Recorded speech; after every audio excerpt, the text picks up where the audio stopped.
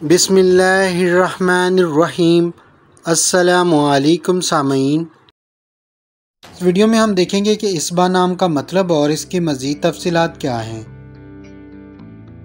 ये नाम उर्दू और इंग्लिश में कैसे लिखा जाता है या इसके स्पेलिंग क्या हैं, ये आप अपनी स्क्रीन पर देख सकते हैं।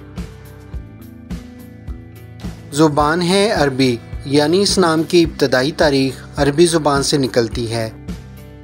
मज़हब है इस्लाम, यानी इस नाम का ज़्यादातर इस्तेमाल मुसलमानों के लिए किया जाता है। जिन्स है लड़की, यानी इस नाम का ज़्यादातर इस्तेमाल लड़कियों के लिए किया जाता है। सुबह के मुख्तर इंग्लिश मीनिंग है मॉर्निंग, उर्दू मायनी है सुबह। इसबा नाम का मुमकिन तौर पर सबसे ज़्यादा इस्तेमाल जिन ममालिक में किया जाता है, उनमें सर फहरिस्त है पाकिस्तान, नंबर दो पर है बांग्लादेश और नंबर तीन पर है यूएई। इस नाम के अफराद के लिए मवाफिक समझे जाने वाले दिनों में शामिल है इतवार और मंगल। नंबर छः को इस नाम के अफराद के लिए मवाफिक समझे जाने वाले नंबरों में शुमार किया जाता है।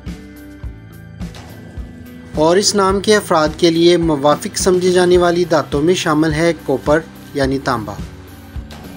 और इस नाम के अफराद के लिए मवाफिक समझे जाने वाले रंगों में शामिल है सुरख, जंगनुमा और हल्का सबस जबकि पखराज नामी पत्थर को इस नाम के अफराद के लिए मवाफिक समझे जाने वाले पत्थरों में शुमार किया जाता है।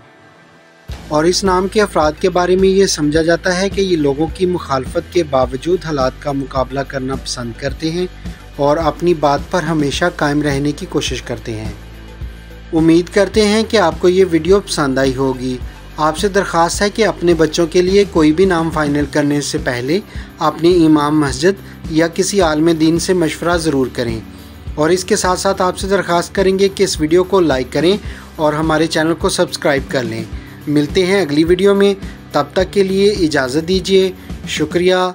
अल्लाह हाफिज़।